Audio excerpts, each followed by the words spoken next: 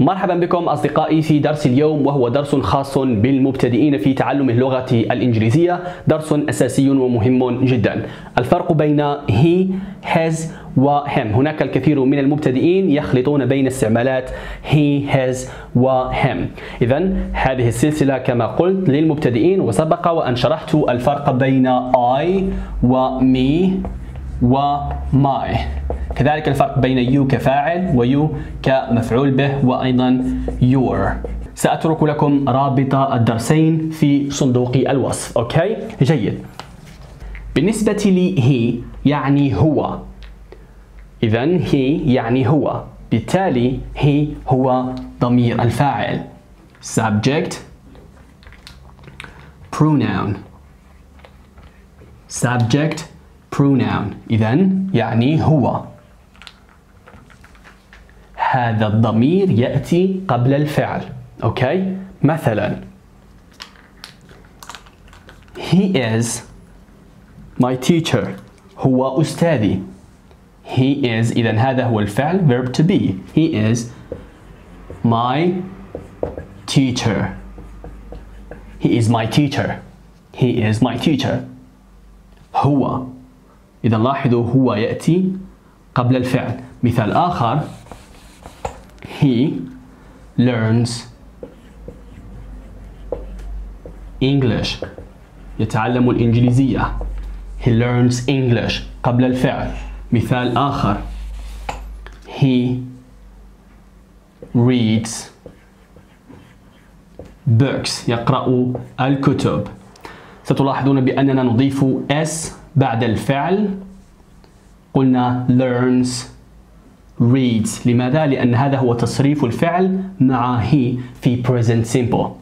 أوكي تحدثت عن جميع الأزمنة في آه، سلسلة خاصة. سوف أترك لكم كذلك رابط سلسلة الأزمنة في صندوق الوصف.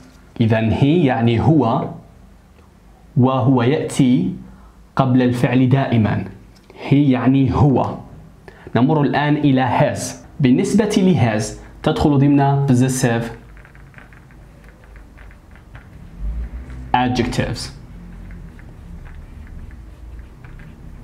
إذا هذا صفة ملكية okay؟ هذه الكلمة تأتي قبل الاسم okay؟ إذا تأتي قبل الاسم.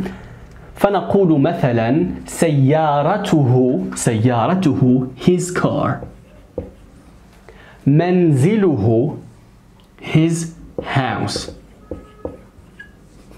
okay his house مثال آخر his father أبوه his father مثلا ماله ماله المال هو money ونقول ماله his money yes his money his money إذا his تأتي قبل الاسم لكي نبين أن ذلك الاسم ملكة. أوكي؟ مثلا اسم name اسمه his name. في حالة إذا أردت أن أقول اسمي my name. اسمك your name ولكن اسمه his name. أوكي؟ إذا his possessive adjective. نمر الآن إلى him بالنسبة لهم فهو ضمير المفعول به. Object pronoun. ضمير المفعول به.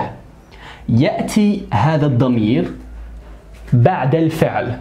إذا ضمير المفعول به الخاص به هو يكون him هذا ضمير الفاعل هذا ضمير المفعول به.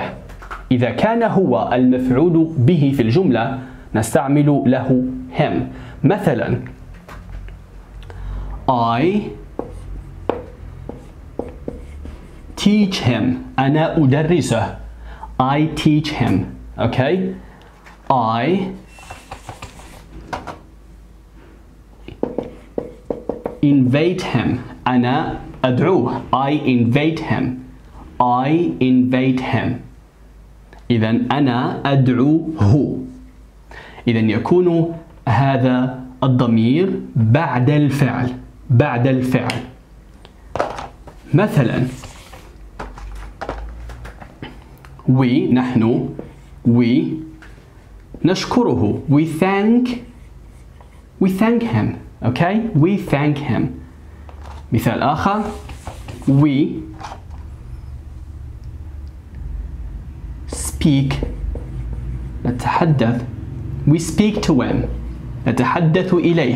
We speak to him. إذا هو المفعول به في الجملة. نحن الفاعل. We. إذا آمل أن يكون الدرس واضحا. He هو subject pronoun. His هو possessive adjective. وهم هو object pronoun. بمعنى لدينا هو.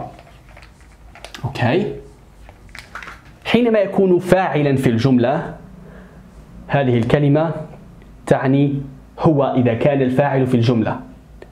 أما إذا كان هو يملك شيئا فإننا نضيف has قبل ذلك الاسم المملوك لدى هو. أوكي؟